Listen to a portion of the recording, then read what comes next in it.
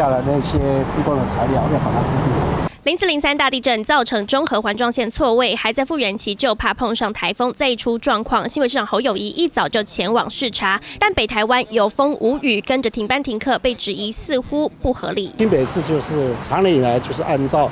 中央气象局的标准，所以我们都会采取一次性对外来做说明。侯友谊强调，放不放假尊重专业，但还原一号晚间七点半新北桃园部分地区风力达标，虽倾向停班停课，但还需讨论。台北市长蒋万安也还在评估。接近八点，基隆市长谢国良笑着和侯市长通电话，紧接着八点零四分电话一挂，抢先宣布放假。共同生活圈不同步，八点十分北北桃才发布视讯停班停课，遭质疑是被谢国良。突袭吗？也都有讨论啊，所以这个部分也都是现在是共同达成了共识啊，然后原则上都是在八点左右来做宣布。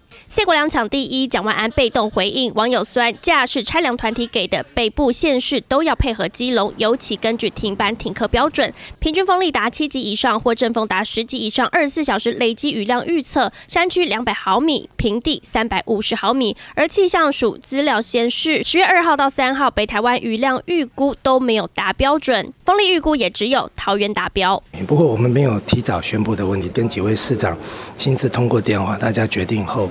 才各自去宣布，没有因为任何其他理由。即便谢国良强调和罢免无关，北北基桃是共同决策，但逼近十月十三号罢良投票，难免被做联想。